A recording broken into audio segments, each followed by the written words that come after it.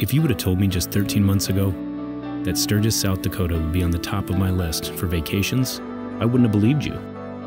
But here's the thing Sturgis is not just a town in the western portion of South Dakota, and is not just the home of arguably the biggest motorcycle rally on earth. It's a place where you come as you are, and you don't need to be a celebrity to enjoy it.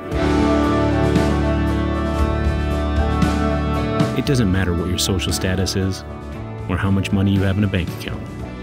Because honestly, Sturgis doesn't care. Just riding through the Black Hills makes you think you're in an actual painting. Every turn, every lookout, every photo. Just when you think it can't get any better, it does.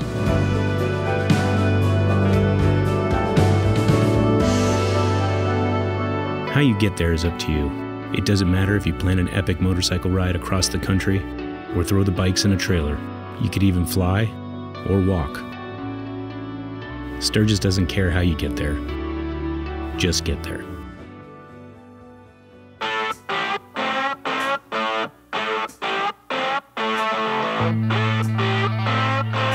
Waking up in Sturgis. No alarm clock needed? Your body will do that for you. You just get up, load up your gear, and hit the road. It doesn't matter which way you go, because the riding out here is amazing everywhere. I mean, come on. Just look at this place.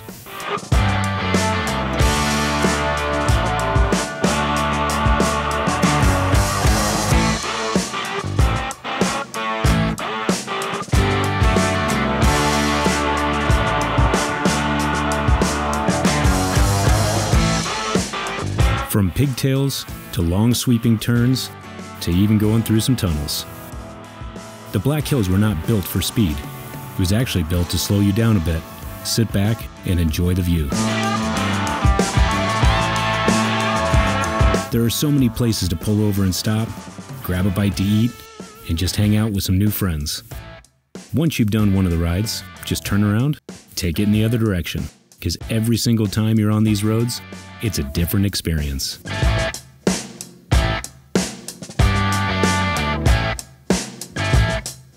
And don't say I didn't warn you.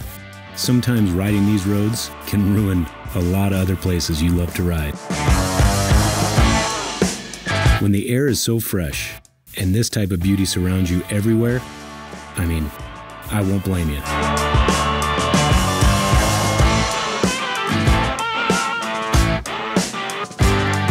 There's always been the great debate on which ride is the best.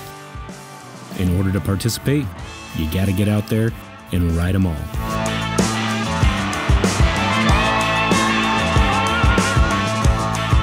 And let me remind you that just spending one day in the Black Hills is only part of the Sturgis experience.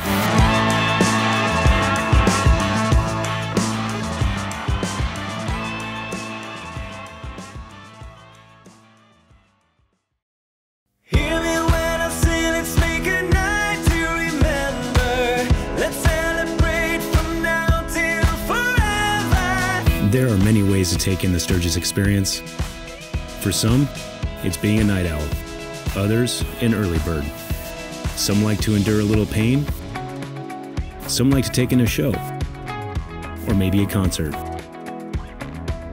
You can hang out with some friends, or just meet some new ones. While you're in Sturgis, the conversations never get boring. Just talking with people about how they got to Sturgis and their experiences on the road is enough to start a brand new friendship. As an amateur photographer and videographer, I just can't get enough of this place. I don't think it matters how much drone footage I capture or how many still shots I take. I don't think there's a way I can capture the actual essence of the Black Hills. But I'll tell you this I will keep trying.